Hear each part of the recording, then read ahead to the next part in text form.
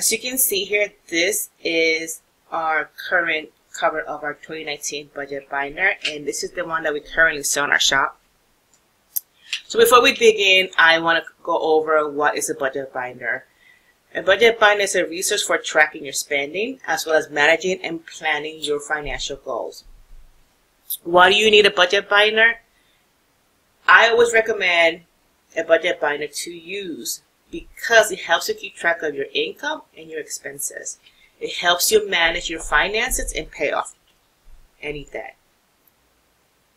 A budget binder helps you keep track of every penny earned and every penny spent. So, as you can see, it is a very important tool when it comes to finances, right? So who needs a budget binder? Anyone that spends and earns money. Okay, so Joyce, I'm going to set income. Do I need a budget binder? Yes, you need a binder. No matter your income, if you are earning and spending, keeping track of your finances is important. So therefore, you do need a binder. Another question, am I living paycheck to paycheck? I have no clue how to use a budget binder. Well, the good news is that right now I am going to show you how you can use this tool to help you stop living paycheck to paycheck. When you open a budget binder, first you're going to notice it's uh, a set of sheets that are named yearly, yearly financial planning sheet, yearly financial goals, paycheck to paycheck calendar, things like that, right? So to help you understand how to start a budget planner, I am going to go over each sheet that's in this um, binder for you. So to help you understand, and I will also in the future show you, answer your questions if you have any.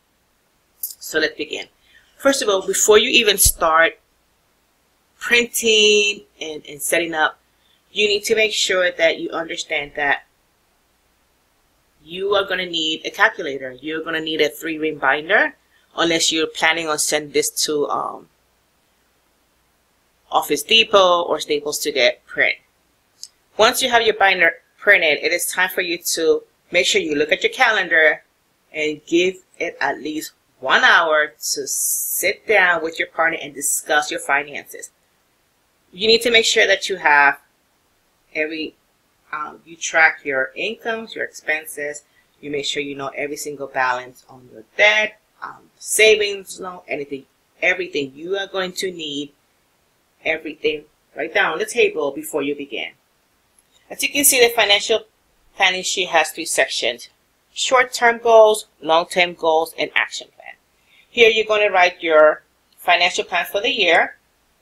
There are short-term, long-term, and your action plan.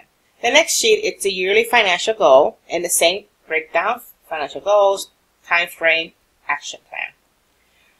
The paycheck schedule, we use this to write down the dates you're going to get paid. And then this sheet will be useful because you will be able to, when you write your monthly budget, look at this calendar and see when you're going to get paid. If you get paid weekly or bi-weekly. You can also see the amount that you will be able to, you might get three paychecks in a month, and then you can think of what you want to do. So this is like an overview of when you're gonna, when your paycheck will be for each month, and then use this as a tool for the future. The yearly payment tracker. This is where you write your bills when they're due and the amount. So for example, if your phone bill is due on the 25th of each month and the amount is, I don't know, $40, you keep track of it right here. When you pay it, track, track, track, track. A full debt overview helps you. This is like the rough one for me. This was pretty kind of rough because when I wrote every single debt that I owe and like the balance and the monthly payment and the interest rate, it, it was a shocker for me how much debt I was in and how much accounts I have. So this this debt overview sheet, it's a good one. It's a good one for you to print and to really write down every single debt you owe and the balance. This is gonna be like an eye opener. The pay, debt pay down.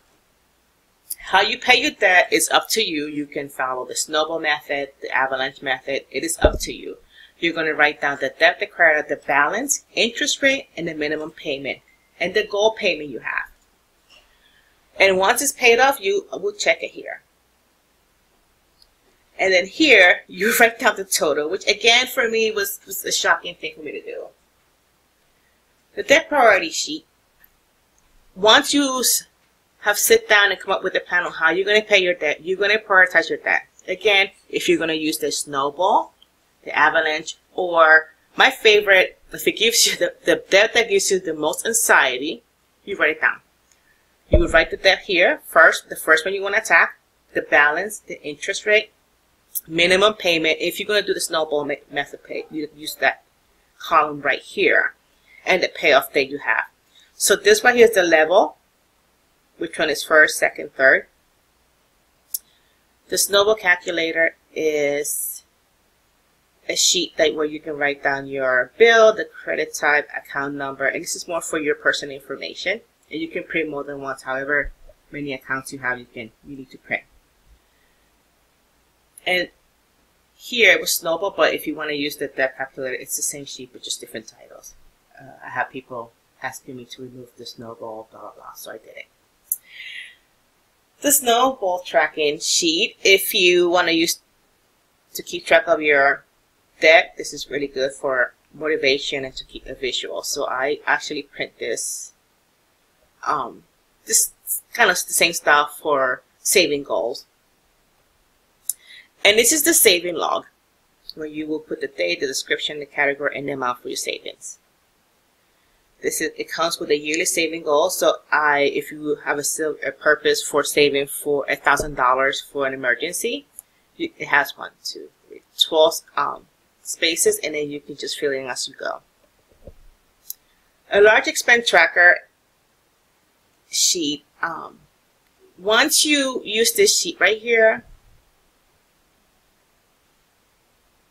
and you have a plan of, you look, have a, like a plan of what the year is going to look for you, you can write out the big, big expenses here. So for example, if our next sheet is a financial breakdown sheet, and this is this sheet you can use um, at the end of each month to track down the amount of income, the amount of expenses, the snowball method payment, and savings. Um, so each month you have like this sheet that will you can skim through each whenever you can and have every single month written down. And as you can see here, I'm not sure if you guys recognize, but income, it's this color, expenses like the pink red, saving will be green, and the cash envelope template here that you're more than welcome to print and use as cash. The next sheet, it's the monthly budget sheet. Um, you write down here your month, your income. Your income, again, is blue. Expenses, like a red. I don't know, pink? I'm going to say pink. I don't know, red. Green is saving, and the cash envelopes will be, um, I, can, I don't know what the color is. Pale color. This color right here. So here we have a fixed month expenses. You will write them here, the date they're due, the amount you budgeted for, and the actual amount you paid at the end of the month or whenever. You write them here total.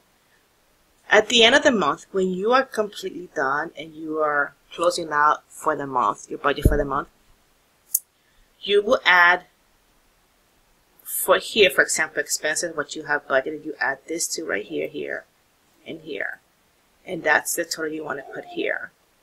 At the end, when you're closing out your budget, you're going to add the total for this and this and then add it here. The same goes with income. You will add the total income here and the total income here. And then when it comes to saving, if you have budgeted to save, you write down what you have budgeted and then the actual and then the green right here, the total will go here and here.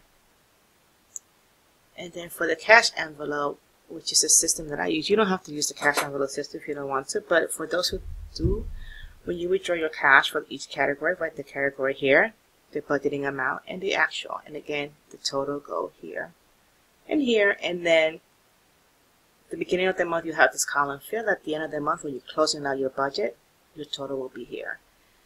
And then you could probably use this sheet here for to keep track of it. You don't have to use every single sheet that's in the binder, just the one that you like and it works for you and your family.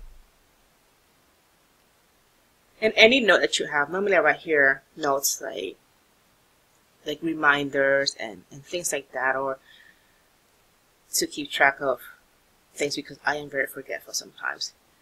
Um, if you prefer to do a budget um, by paycheck, like budgeting just your paycheck, then you put the income here, like if it's your um, Joyce's paycheck, the amount you have budgeted for and what actually was, and the same, you have like the same spaces here. So for paycheck one, you pay rent, um, Hulu or whatever you write it here and other expenses. And then you do the same thing. You add this to, put it here, the savings, put it here, and so on. And then the notes is for paycheck. So you can print this as many as you want. We use this, um, we will be using this too when our my husband switches jobs. So this is very detailed too. So I, if you're starting um, to budget, I would recommend you use the paycheck budgeting system, which is because that it shows it shows you what where your paycheck is going, and it helps you track your um, expenses versus monthly. But you can do whichever you want. Then this is the cash envelope tracker. Um, this is something that I spoke about before in this video for it, so I'll probably put download it so you guys can really look into the details about it when I did a cash envelope budgeting seminar. So here you write the month, you write the categories. I recommend that you do no, if you're starting with the cash envelope, you don't do more than six categories. So you write food, household, personal care, kids, um, whichever any the amount you budget, which will be the amount you budget on the sheet here. Alright, so next it will be after you have your if you do this a monthly um, budget, you write the total right here. If you prefer to pull all your cash for the envelopes one time out of the month, then you will use this sheet. But if you feel like you have to look at your finances and your budget, you prefer to pull your cash every two weeks, every weekly, um, I recommend biweekly. You will go here and then you will write the categories. Again, paycheck one, how much you're going to pull, and paycheck two. And then this and this right here should be the same amount. So this is one of my favorite sheets too. Uh, how much cash do I need? Well, for each time you go to the bank, sometimes you want to have the set um, bill count.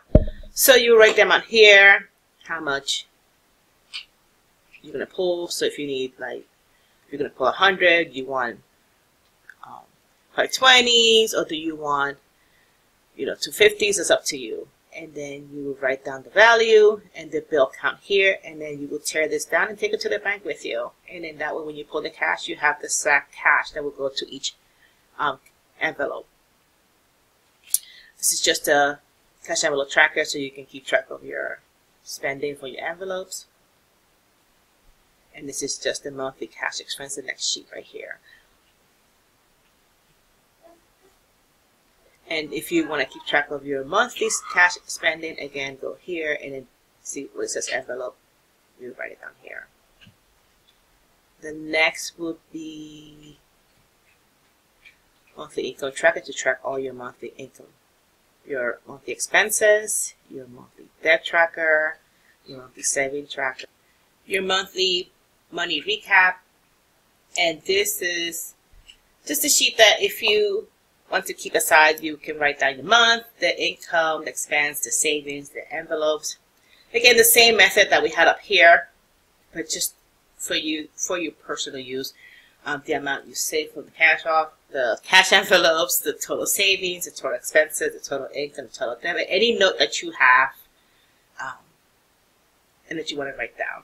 And then here you have a thermometer which you can write your goals and just keep track of it, which is something that I haven't used myself.